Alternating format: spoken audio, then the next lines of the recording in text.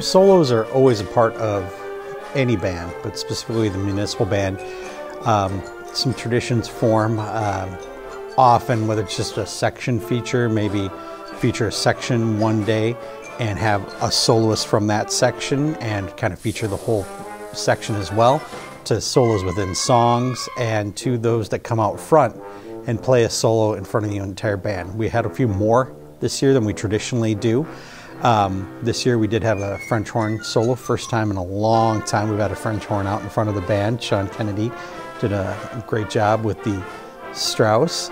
Um, another solo out in front of the group, uh, featuring talent from within the group, was um, a number of different clarinet solos. There was a duet between Frank and Ruth, the, the married couple. They, they played a wonderful duet on a piece that you know Ruth had arranged for the band, as well as some more of uh, Frank's traditional jovial music and clarinet solos. He and Jake Kesey both uh, combined to play Lightning Fingers, I believe it was. And then featured, that week we featured the whole clarinet section. And that was kind of an homage, obviously, to Gladys Delano, who had played in the band for over half of its time. And even down to Ashley Hall, who we brought in as a guest soloist. Um, that was one of the few times we bring in someone from outside the band. It's been done before.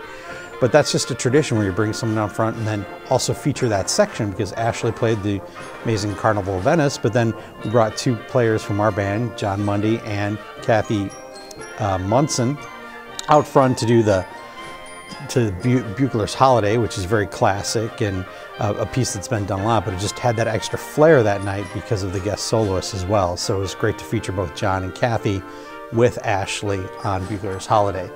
And those are just kind of those key landmark events, but built in. I mean, every 4th of July tribute concert, we always have a piccolo solo on the Stars and Stripes, uh, whether it's Janet Hoikeshoven who normally plays it, or some years she's gone in July, and we have someone up pick up that piccolo instead of picking up the baton, as it were, and, and carrying it forward to always feature that. And just every section has an opportunity to really be featured, whether it be in a solo, group dynamic, and it's always a great time for them.